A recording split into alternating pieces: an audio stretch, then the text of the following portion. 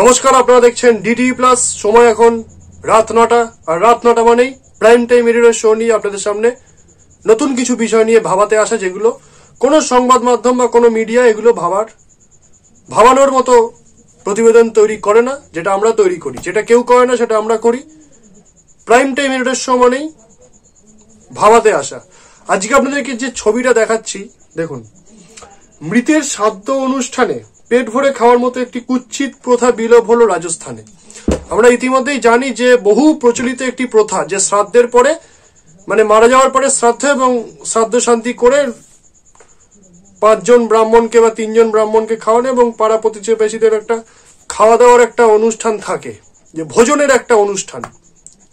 এই খাওয়া দাওয়ার অনুষ্ঠান কিন্তু বেশ প্রাচীন কাল থেকে কিন্তু চলে আসছে এবং এক শ্রেণির মুনাফা মুনাফালোভী এবং ভোজন রসিক বা যারা স্বার্থন্বেষী মানুষ কিন্তু এই প্রথাগুলোকে আবিষ্কার করে যে সব পূজা অর্চনার পেছনেই একটা খাওয়া দাওয়া, একটা আনন্দ, সেটা কিন্তু এই মারা যাওয়াটাকেও তারা বাদ দেয়নি। সেখানেও একটা খাওয়া দাওয়ার বিষয় জাঁক জমক একটা অনুষ্ঠান করে আড়ম্বর, খাওয়া দাওয়া, গল্প এরকম একটা কিন্তু প্রথা চলছিল। সেটা কিন্তু রাজস্থানের মতো একটা জায়গায় কিন্তু বিলোপ করা হলো মানে এরপর থেকে আর শ্রাদ্ধ হবে, কিন্তু খাওয়া দাওয়াটা শ্রাদ্ধে খাওয়া দাওয়ার মতো এই যে বাজে জিনিস। এবারে অনেকেই বলতে পারে যে বাজে জিনিস কেন? শ্রাদ্ধ শান্তি হয়েছে পাঁচজনকে খাওয়াচ্ছে, পাড়া প্রতিবেশীদের খাওয়াচ্ছে, এর মধ্যে বাজে কি আছে? এর মধ্যে বাজে একটাই আছে, কারণ যখন কোনো পরিবারে একটা মানুষ মারা যায়, পরিবারের একটা মানুষের বিয়োগ, সেটা পরিবারের প্রধান সদস্য হতে পারে, পিতা হতে পারে, মাতা হতে পারে, ঠাকুরদা হতে পারে, ঠাকুমা হতে পারে বা ছোট বাচ্চা ছেলে হতে পারে, ছোট ছোট সন্তান হতে পারে, তখন যে পরিবারে মৃত্যু ঘটে, মৃত্যু কিন্তু একটা দুঃখ, একটা শোক, একটা বেদনা, যেটা যে পরিবারে হয়, যার হারায় সে একমাত্র বোঝে। বাকি লোকরা তো খেয়ে দিয়ে রান্নায় নুন হয়নি বলে চলে যায় দাঁত খুঁড়তে খুঁড়তে। কিন্তু যার পরিবারের সদস্য মারা যায়, তার তো একটা ঝটকা তার একটা শোক, তার একটা বিয়োগ, তার একটা মাথা থেকে কোথাও না কোথাও ছাদ বেরিয়ে যাওয়া, হাহাকার, বুক ফাটা কান্না। সেই প্রিয় মানুষটার এক- তো সে ছেড়ে চলে গেছে, তার একটা শোক আছে, তাকে ধীরে ধীরে সামলাতে হয়।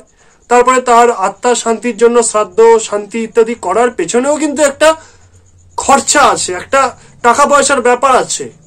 এবং এগুলো মানতে হয়। মানে এখনকার দিনে মানে কোনো অনুষ্ঠান করা, কোনো পুজো করা মানে কিন্তু নয় নয় করে পাঁচ ছ হাজার টাকার খরচা।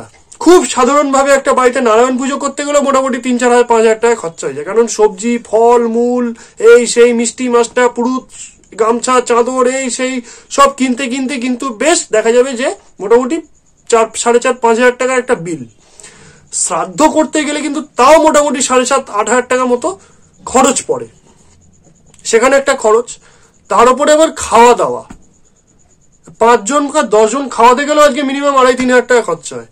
সেখানে যদি একটা পাড়ার মানুষজনদেরকে খাওয়ানো হয়, একই মৃত পরিবারের শোক, তার উপরে টাকা পয়সার একটা আর্থিক একটা অভাব, অনটন, তার উপরে আবার যখন দেখে যে যারা খায় অনুষ্ঠানে এসে বা ওই যে শ্রাদ্ধতে এসে, গপ গপ করে যারা গেলে তাদেরকে কারুর যে মারা গেছে সে নয়, কারুর বন্ধু হয়, কারুর সন্তান সম হয় বা কারুর বয়স জ্যেষ্ঠ আত্মীয় সম হয়। কি করে একটা মানুষের মৃত্যুতে মানুষ খেতে পারে? এটি তো সব থেকে বড় লজ্জার বিষয় যে একটা বাড়িতে আমার প্রিয় মানুষ মারা গেছে। আমি তার নাম করে খেতে পারব? আমার মুখে ঢুকবে? কিন্তু সেটা যদি অন্য বাড়ির সদস্যর হয়, তখন আমরা গপ গপ করে গিয়ে খেয়ে আসি। মানে আমরা ভাবিও না যে একটা মানুষ চলে গেল খাওয়া দাওয়া এটা তো একটা আনন্দ ফুর্তি। একটা মানুষ যেখানে চলে গেছে, মানুষ যেখানে মারা গেছে, সেখানে আমি গিয়ে স্যুট বুট পরে সেন্ট মেখে গায়ে খেয়ে মানে গপ করে খাব। সেই মানুষটার কথা আমার একবারও মনে পড়বে না, তার সাথে সময় কাটানোটা একবারও মনে পড়বে না। তার শ্রাদ্ধ মানে তার আত্মার শান্তি। সেখানে গিয়ে আমরা খাওয়া দাওয়া করতে পারি। এগুলো কিন্তু পরিত্যাগ করা উচিত। আমাদের এখানেও এটা চালু হওয়া উচিত। কেন, কবে চালু হবে এটা আমরা জানি না, কবে এটা সত্তর চালু হওয়া উচিত। এবং শ্রাদ্ধটা শুধুমাত্র শান্তি, আত্মার শান্তি কামনার জন্যই করা উচিত। এবং এই যে আড়ম্বর খাওয়া দাওয়া মানে কি পরিবারের লোকেরা, লোক, লোকেদের মধ্যে দিয়ে যে কি অবস্থা হয়, সেটা পরিবারের লোকেরাই জানে। যাদের মারা গেছে, যাদের আত্মীয় এখন তো দেখেছি যে শ্রাদ্ধ শান্তি এখন একটা মানে অনেকের বাড়িতে এখন শ্রাদ্ধ শান্তি একটা মানে বেশ একটা অনুষ্ঠান হয়ে গেছে। লোকে যায়, খাওয়া দাওয়া, হাসাহাসি সেলফি তুলছে, এই সেই। লোকে গিয়ে মিষ্টি খাচ্ছে, এ খাচ্ছে, সে খাচ্ছে। মানে একটা মানুষ যে মারা গেছে, কোনো কৃতজ্ঞতা নেই, একটা কোনো দুঃখ প্রকাশ নেই। উল্টে তার মানে খাওয়া দাওয়া হলেই হলো। আনন্দ করার একটা, ফুর্তি করার একটা মানে উৎসবের একটা আমেজ চাই সব সময় একটা কারণ চাই। সে বিয়ে বাড়ি অনুষ্ঠান বাড়ি জন্মদিন বাড়ি পৈতে বাড়ি সেটা হতে পারে, কিন্তু শ্রাদ্ধ বাড়ি? শ্রাদ্ধ বাড়িতে গিয়ে মানুষ খেতে পারে কি করে? খায় কি করে? মুখে ঢোকে কি করে? এখন সার্থকপর মানুষ, সার্থকপর সমাজ, ও মরেছে আমার কি? আমি যাই গিয়ে একটু খেয়ে আসি, আমার একবেলা ভাত খরচা বেঁচে গেল। এইভাবে মানুষ কিন্তু খাওয়া দাওয়া করে। এটা কিন্তু বন্ধ হলো খুব খুব বড় একটা সিদ্ধান্ত। এটা সমস্ত জায়গায় কার্যকর করা উচিত। এবং আগামী দিনেও এটাকে প্রত্যেকটা বাড়িতে এটা কার্যকর করা উচিত। যে শ্রাদ্ধে খাওয়া দাওয়া বন্ধ হবে। কিসের খাওয়া দাওয়া একটা বাড়িতে দুঃখ একটা মানুষ চলে গেছে, আর সেখানে খাওয়া দাওয়া আনন্দ, ফুর্তি, উৎসব? অবশ্যই আপনারা বলবেন, আপনারা ভাববেন, যারা শ্রাদ্ধ বাড়িতে গিয়ে খাওয়া দাওয়া করেন, আনন্দ করেন, ফুর্তি করেন, এটাকে একটা উৎসব হিসেবে নেন।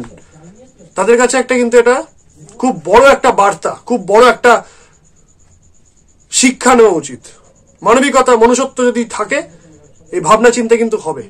পরবর্তীকালে আবারও ফিরে আসব অন্য কোনো প্রতিবেদন নিয়ে। ততক্ষণের জন্য আপনার নজর থাকুক প্রাইম টাইম এডিটর শোতে। সবাই ভালো থাকুন, সুস্থ থাকুন, সতর্ক থাকুন। শুভরাত্রি। ধন্যবাদ।